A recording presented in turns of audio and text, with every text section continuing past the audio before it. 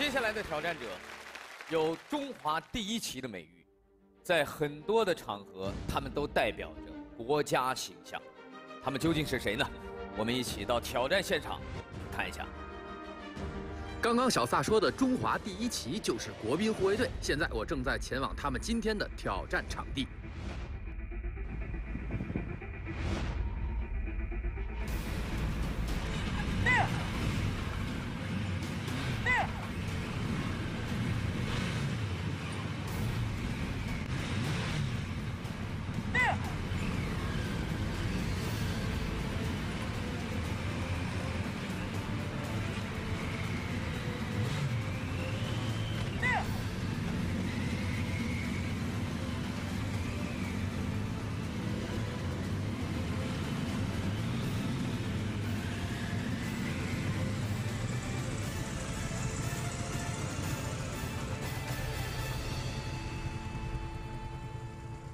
小三你好，现场的各位嘉宾还有观众朋友们，大家好！大家看到了吧，在我们身后非常非常帅气出场的，就是我们今天的挑战者——国宾护卫队。站住！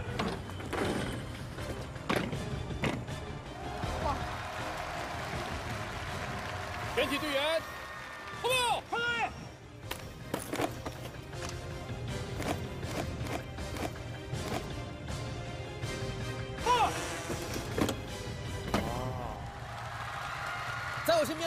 们武警北京总队执勤第七支队礼宾大队长高峰队长。高峰队长，欢迎您。你好，您好。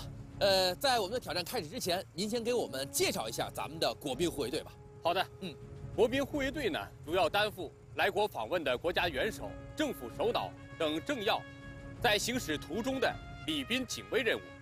这是我国给予到访外宾的最高礼遇之一，也是呢，外宾踏上中国的。第一道礼仪，既是给来访的外宾以最好的护卫和礼遇，同时也为我们国家的外交发展助力加油。是的，所以接下来我们一起去认识一下今天参加挑战的国宾护卫队队员，好吗？好的，来，这是我们国宾护卫队的王磊队长。啊，王磊队长你好，主持人好，您好您好，您给我们简单介绍一下我们今天参加挑战的队员们吧。好的，嗯，今天我们共有十一名队员。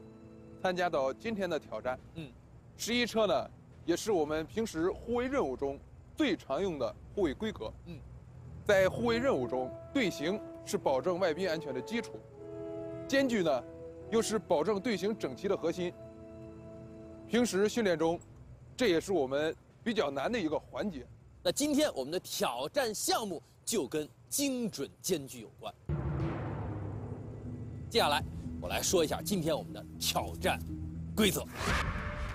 国宾护卫队队员要分别经过1.5米和2.5米的两关不同间距的极致考验。在每一关考验中，11名队员以间距校正点指定间距行驶。经过若干干扰项后，必须保持队形，按指定间距通过激光间距验证点。两关全部通过，则为挑战成功。若有任何一名队员在中途掉落独木桥、触碰障碍物或者未通过间距测距，均为挑战失败。那王队长，我们所有的观众朋友们一起给你们加油，希望你们挑战成功。下面请主持人随我到终点的高台去见证这次挑战。好，加油，各位！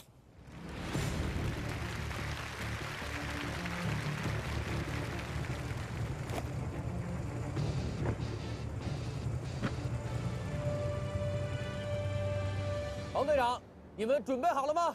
主持人，我们准备好了。我宣布，挑战开始。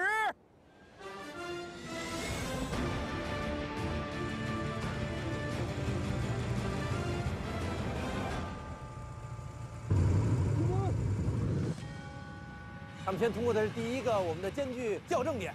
没错。我们现在的队员已经。呈一字队形出发了。嗯，通过校正点，马上变成了我们的护卫队形。哦，就像一个箭头一样。对。护卫队形要通过我们的独木桥。第一关的独木桥，桥面宽只有二十厘米，而车轮的宽度就有十八厘米，要在保持队形的情况下通过独木桥，是对国兵护卫队队员们驾驶技术的极大考验。稍有不慎，就有可能掉落桥下，挑战失败。哦，现在已经上独木桥了，这个独木桥一下把他们间距全打乱了。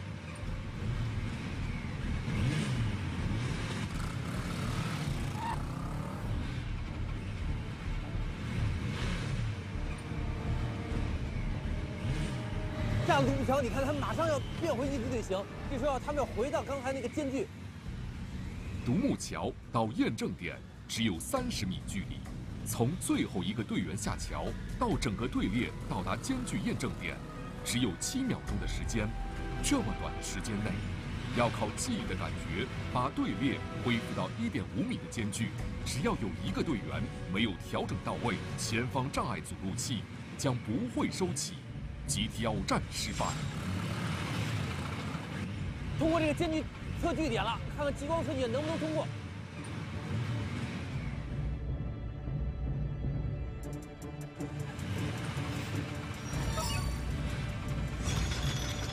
好，没问题，过去了。啊！通过第一个间距测距点之后，要通过转弯，转弯之后要马上进入第二个。间距的校正校正点。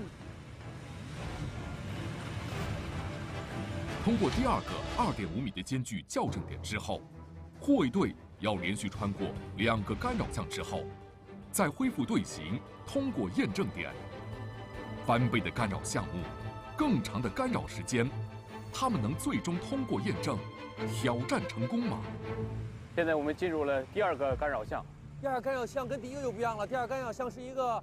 主车障组成的路障，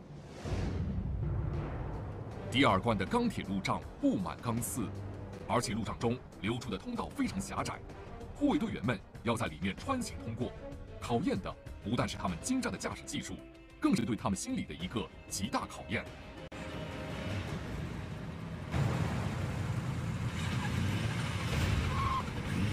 我觉得路障也很窄啊！你看我们的路障上还有尖刺，这种尖刺。呃，对我们队员的心理已经造成了非常大的一个压力。嗯，但是看啊，大家这个控制车速、控制间距控制的非常好，非常漂亮。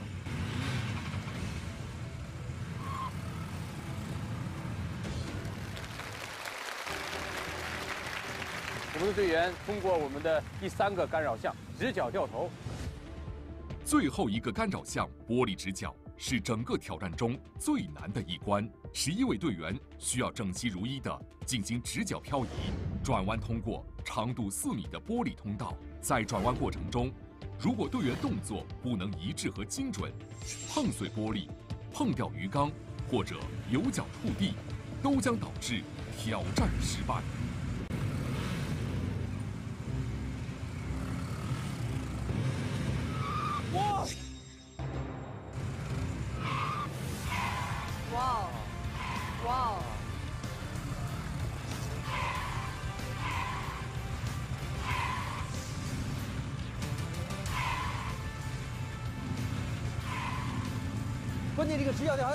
起掉头，而且中间的障碍全都是玻璃。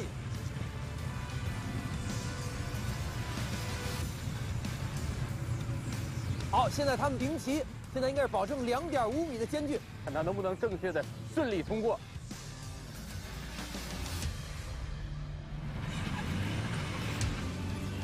一张漂亮，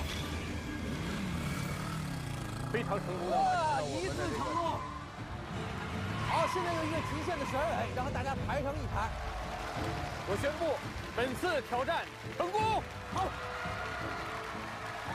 我相信大家跟我一样心潮澎湃。现在呢，我要告诉大家一个好消息，我们的国民护卫队十一名队员即将出发，前往我们的演播室现场，我们一起期待吧。各位，出发！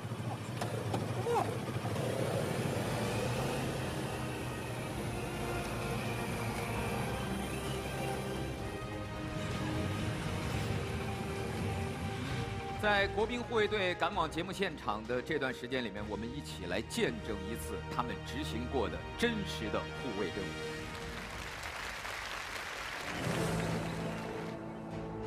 我现在所在的位置呢是钓鱼台国宾馆。那等一会儿呢，我们的国宾护卫队就将从这里出发，来完成一下护送外国元首的重要任务。我将全程跟随国宾护卫队，见证这次重大的外宾护卫任务。外宾准备，外边上车。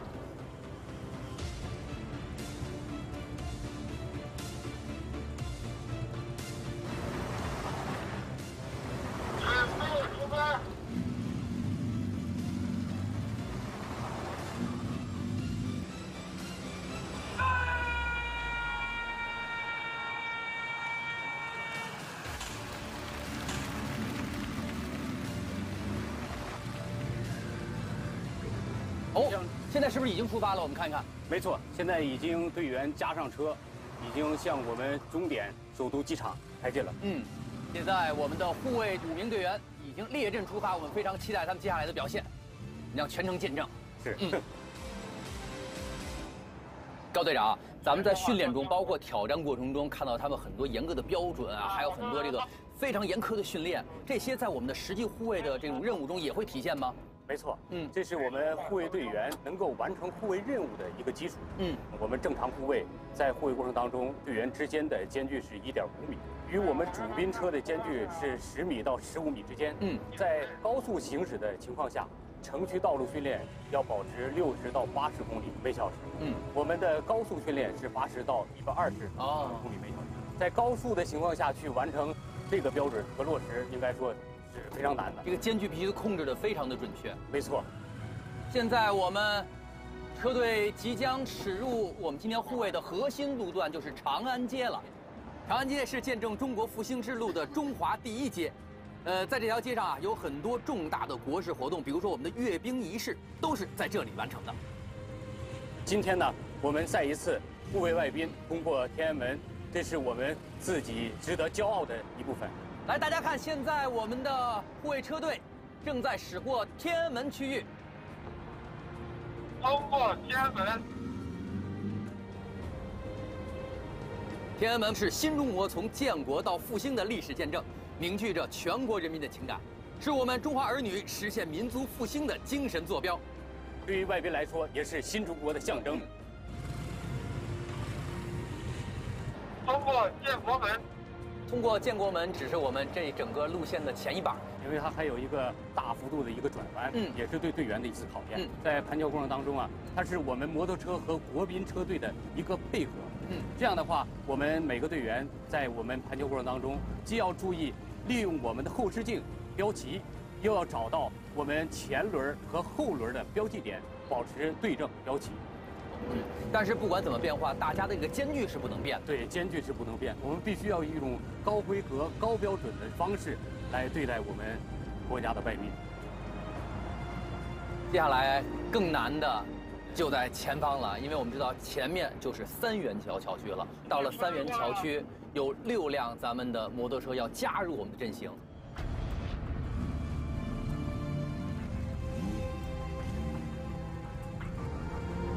慢点提车。现在来看一下我们这个队形的变化啊，之前处于后面的两辆车迅速往前提，现在已经变成了一个大 V。三元桥车队，准备。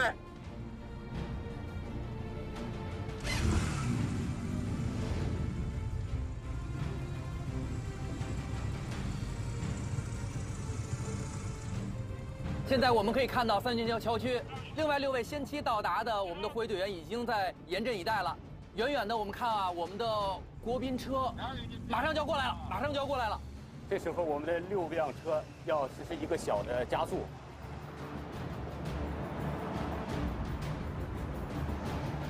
起步。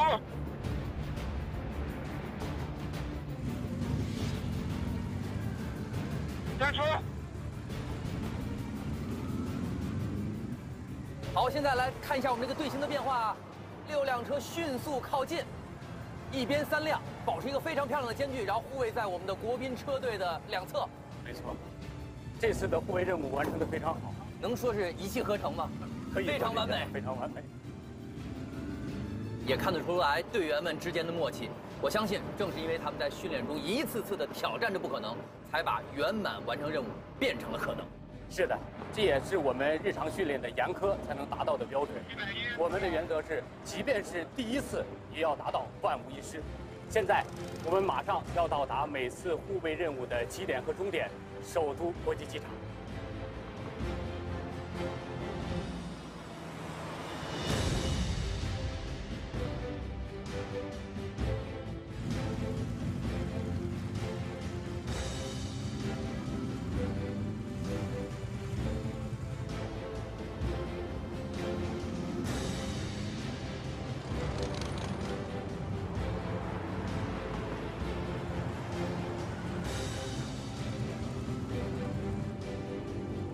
们现在已经到达了专机楼。嗯，那这也就意味着我们第两千三百一十八次国宾护卫任务即将圆满完成。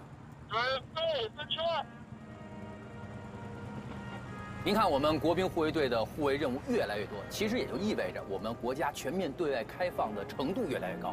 我们结交了更多的朋友，我们对外的合作越来越多，也让我们的生活变得更加的美好。我宣布，此次护卫任务圆满结束。好，太好了！亲爱的观众朋友们，此刻你们的耳畔是否已经听见了我们国宾护卫队摩托车的轰鸣声？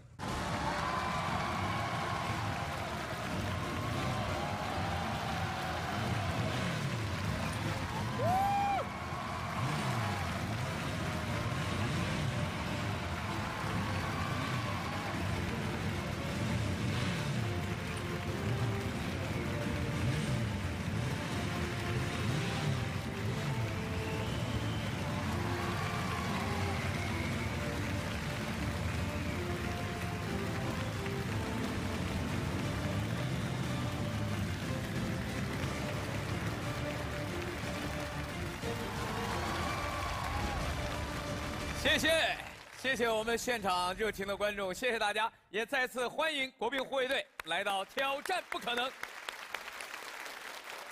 好，请停车。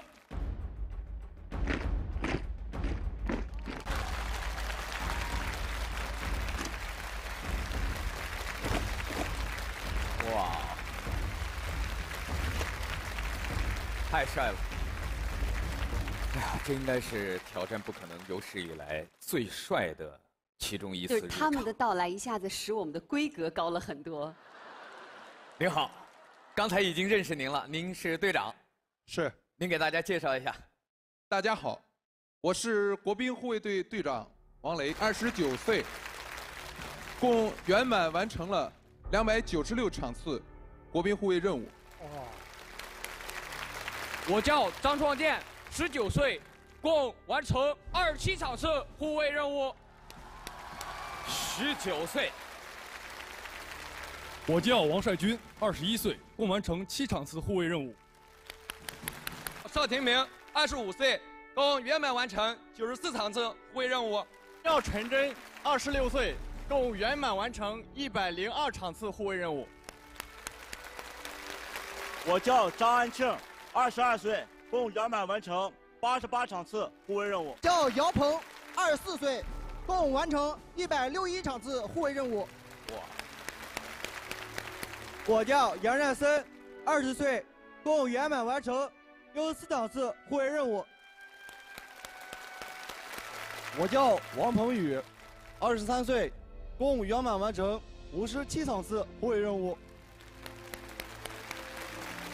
我叫黄启迪，二十岁，共圆满完成二十八场次护卫任务。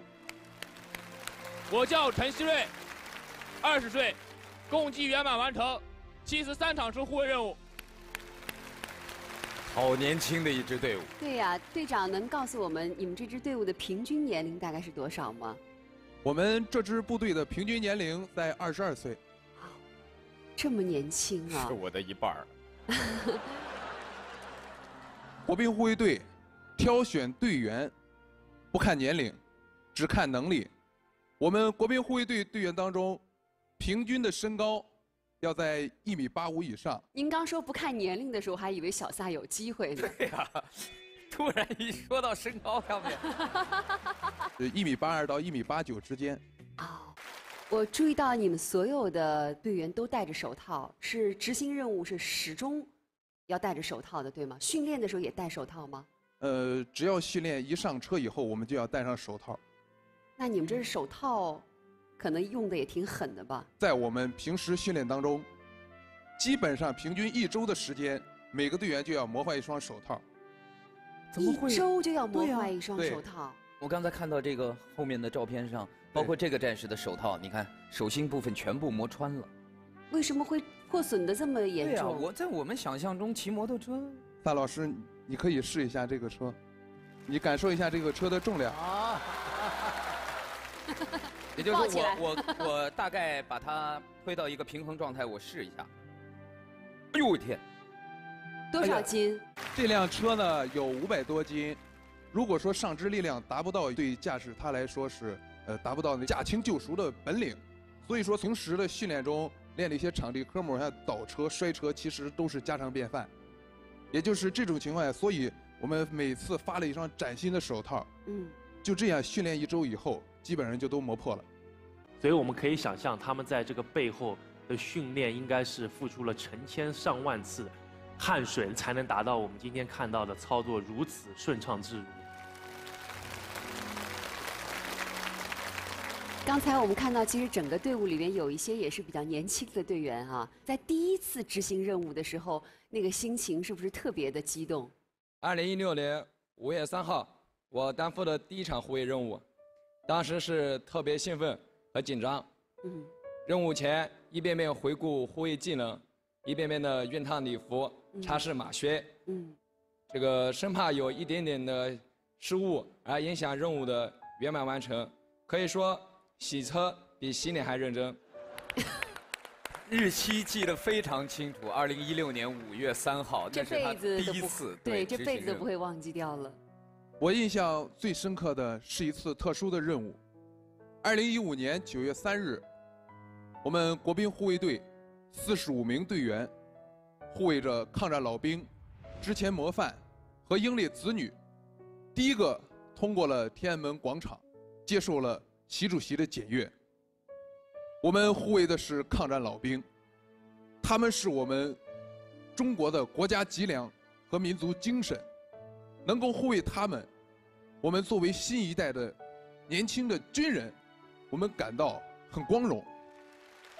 另外，这次任务也是我们国兵护卫队首次护卫我们国内的人。我们国家也就是想通过这种最高规格的礼仪待遇，让我们这些前辈们、浴血奋战的老军人们，感到国家对他们的尊重和崇敬。同时呢，四十五车的队形，也是我们国宾护卫队历史上最高的护卫规格。的确，那个时候其实全世界都在看着我们中国的国宾护卫队的风采。我很好奇啊，你们的家人是不是也会非常关注你们每次执行任务的过程？对，每次呢，家人都会很关心、很关注我们。平时呢，也是在电视里看到，但是呢，我们都戴着头盔，只知道我们在里面，但也不知道哪一个是谁。大家都是一样的。所以他们可能很少能够看到你们现在的这个样子，对吗？对。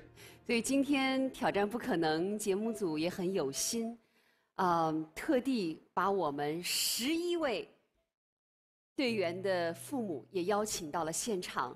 我们在挑战不可能的舞台上，为大家带来了一次新春的聚会。有请各位。哇！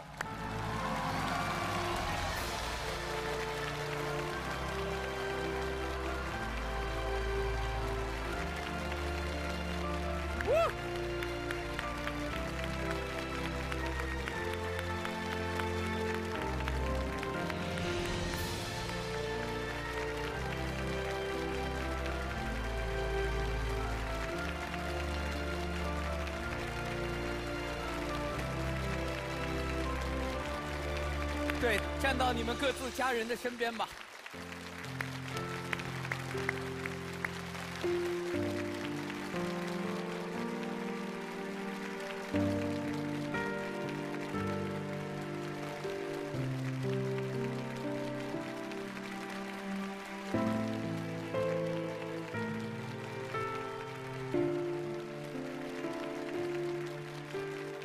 这是一次特别的新春团聚，我看到很多战士在听到家人的脚步声的时候，眼泪就已经出来了。应该也是很多战士们和家人是好长时间没见了吧，队长？对，像我们的甩军，自从他入伍来了以后，还没有回过家。从入伍到现在，你没回过家呢？没有，多久了？快两年了。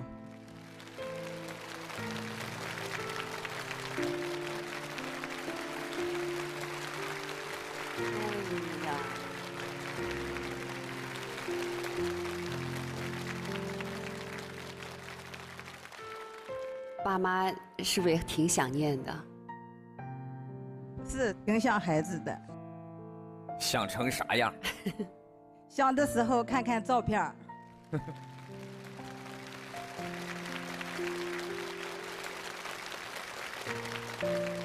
那您平时也看电视吧？比如他们如果执行任务，外国元首访问就刚开始的时候吧，嗯，我就很喜欢看孩子，嗯，有的那个我不是家里边朋友多呀，有时候陪我一块儿看电视，嗯，他们就问我这是哪个是你的儿子呀？我说一样的服装，一样的头盔，我确实也分不出来。但是呢，我看这矫健的身影啊，我心里头非常激动，非常高兴，我感觉这都是我的儿子。旁边的爸爸妈妈们说，我们也这么感觉。对，好像除了爸妈之外，我看到那是陈真，好像你身边那是你妹妹还是你媳妇儿啊？我媳妇儿。哇我还以为今天来的都是家长。所以她是最甜蜜的一个，你知道吗？那笑容都已经掩饰不住了。来，我们请这个媳妇儿也说几句吧。你多久能见一面？一年见一次吧。啊，那想念的时候怎么办？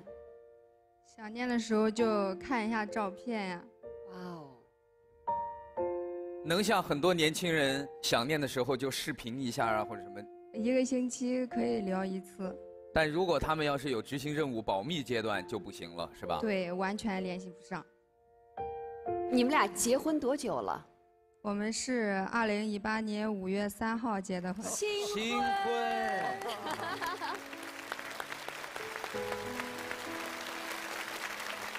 陈真给自己的这个摩托车起了名字啊，我给我的车起的名字叫小白马，因为我们的车辆是大体是白色的嘛，然后又加了一个特殊的意义吧，因为我媳妇儿姓马，所以说叫了小白马。因为在训练或者在执行任务、在部队的时候，也不能经常在一块儿。呃，我的车就像我的妻子一样，能够陪在身边。好。我看到每一位爸妈都是带着礼物来的，都带了些什么？能跟我们分享一下吗？我这次给我儿带来了护膝，因为我儿子在这当兵有七年了，我有七年没来部队一下，因为我晕车晕得很厉害，所以讲就没来。嗯，借这次机会呢，我就给我儿带个护膝，因为这边天气冷嘛，我就叫他把穿上这护膝，保暖好一些。那您这次是怎么来的呀？呃，坐车来的。那您这次也是一路晕过来的？是的。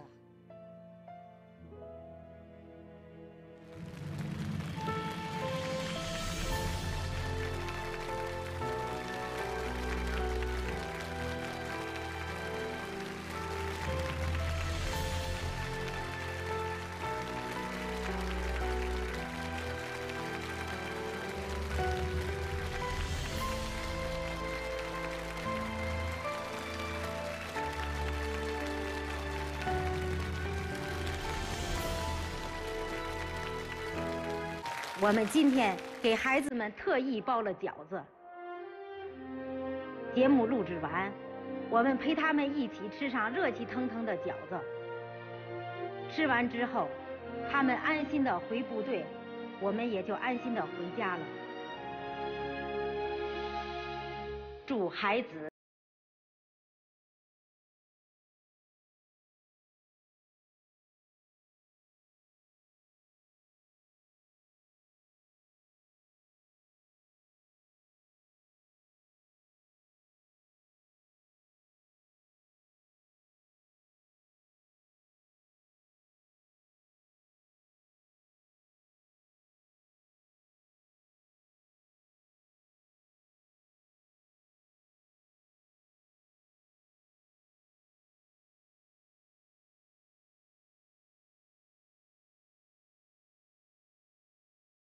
我想今天应该是一个特别的挑战项目，嗯，也是一群特殊的挑战者。我想对于这些代表着国家形象，每一次在执行这种外事任务的时候，向世界展示中国风采的热血男儿，我相信他们的荣誉殿堂，在飘扬着五星红旗的每一寸土地上。嗯，用我们的掌声，送他们进入这样一个特别的荣誉殿堂。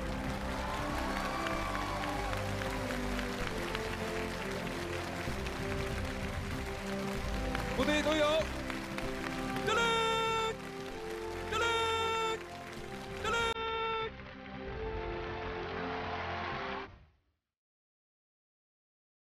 他们和我都是年纪相仿的人，来去匆匆，在经过我们的挑战之后，和他们的家人短暂相聚，又继续奔赴了军营。看到这一幕，我的内心是非常感触的。让世界看到最好的中国形象，是他们的青春梦想。同为追梦人，青春无悔，我为他们骄傲自豪。